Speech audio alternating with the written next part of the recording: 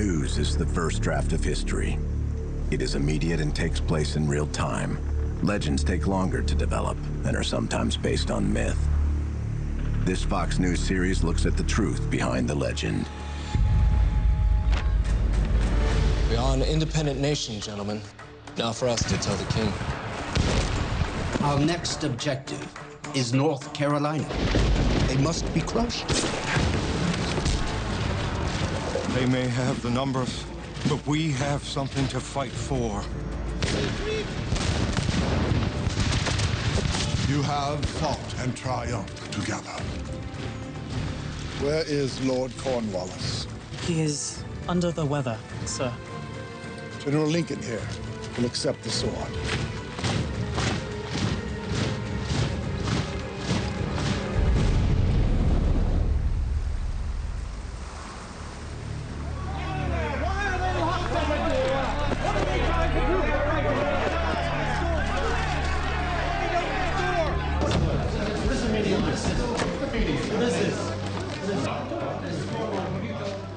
Gentlemen, our nation is on the verge of collapse because we are not truly one nation.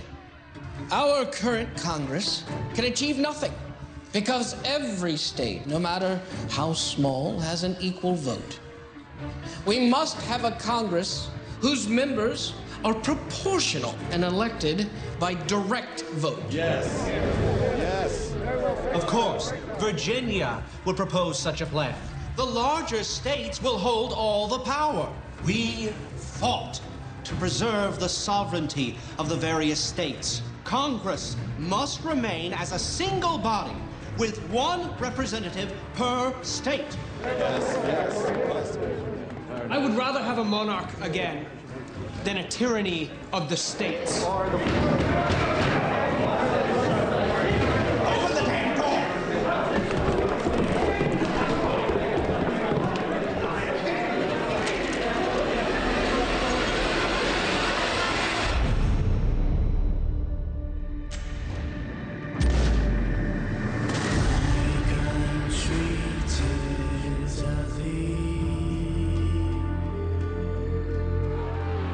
sweet.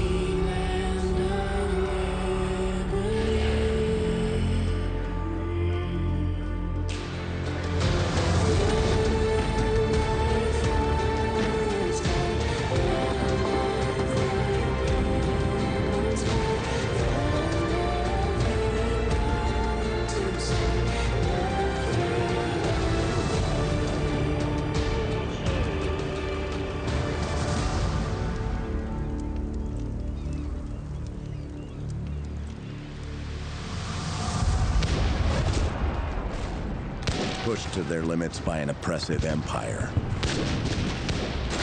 A determined group of rebels unites under the cause of liberty. Their quest for freedom will unify a people, ignite a revolution, and forge a new system of government. In time, these brave men and women will come to be known as the American Patriots.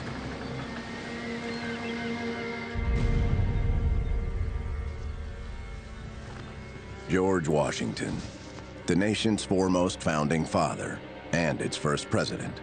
A battle-weary and debt-ridden general ready for retirement. But behind every president stands a man. And behind every legend lies the truth. Go on. He's expecting you.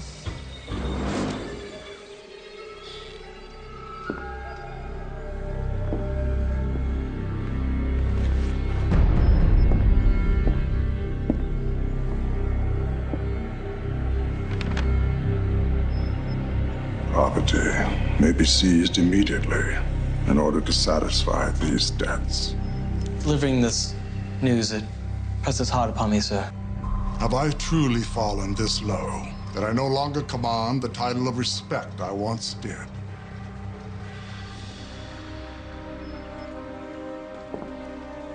Or is that being reclaimed as well? Of course not, sir. I mean, Your Excellency. My apologies, General Washington. three years after the end of the Revolutionary War, the Articles of Confederation are simply not holding up. The founding document that precedes the Constitution does not provide a way for the states to work together on trade, borders, or national defense. It requires Congress to reach a unanimous vote to pass laws, and there is no president to enforce those laws. With the economy collapsing, it's clear the United States needs a stable federal government to unify it. Once again, George Washington will preside as the country takes on its next battle states' rights versus a strong, centralized government. After the costly Revolutionary War, Americans are left with enormous debt. And not even George Washington is immune. Without a standard currency, national bank, or centralized government, the young nation is in economic freefall. Gold and silver only. No paper money. What do you mean? The U.S. government, under the Articles of Confederation, had borrowed a lot of money and had issued a lot of IOUs and had run the economy pretty poorly. Washington saw the American currency collapse, inflation spiral out of control to the point where it cost $150,000 to buy a horse.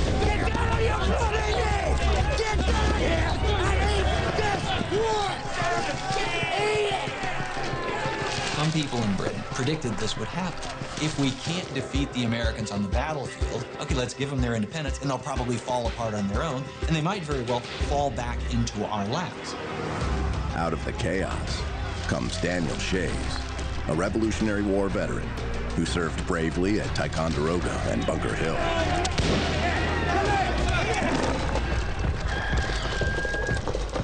Sir, are you all right? Now a farmer, like many of his countrymen, Shays faces bankruptcy and debtor's prison. Desperate, he decides to take radical action.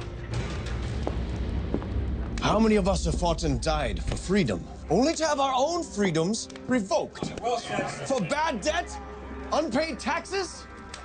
Springfield, the armory. That is where we will find the freedom you all deserve. We will find here muskets, ammunition, cannon, and more. And then we will once again fight for freedom. They cannot take the rights from us that we so hard fought for!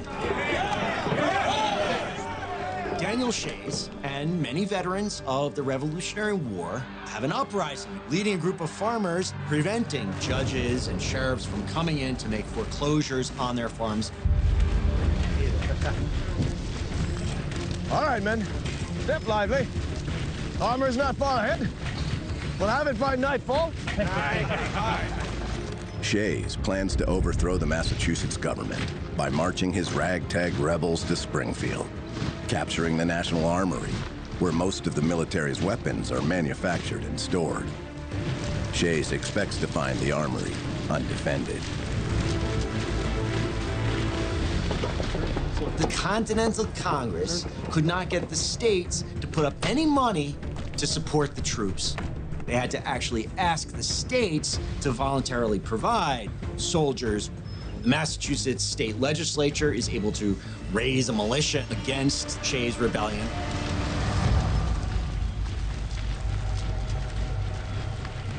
Men who once fought for freedom from Britain are now in open rebellion against their own government. The threat of a nation divided has America once again bracing for war.